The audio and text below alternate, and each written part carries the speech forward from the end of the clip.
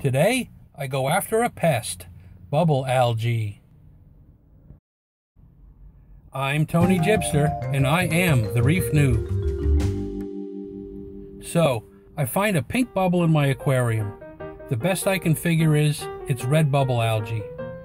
I had a couple of these bubbles in the past. I was able to remove them, and now, about two months later, I see another one has appeared. It's on the stalk of my Duncan coral. I decided to remove the frag from the tank and cut the bubble off before it could spread.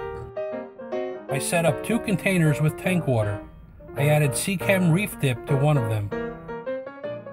I scraped off the bubble with an X-Acto knife and then rinsed the frag in the container with the tank water. I used a turkey baster to create some flow over the frag.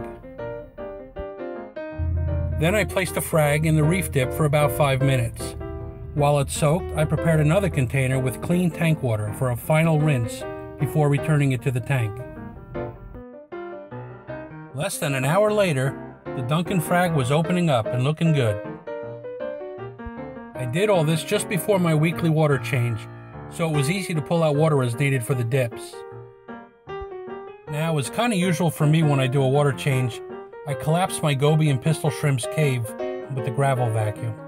I try to be careful, but in such a small tank with my klutzy hands, their many caves are hard to avoid. Fortunately, as you can see, they made short time of digging themselves out. Thanks for watching, and remember, I'm not an expert in anything.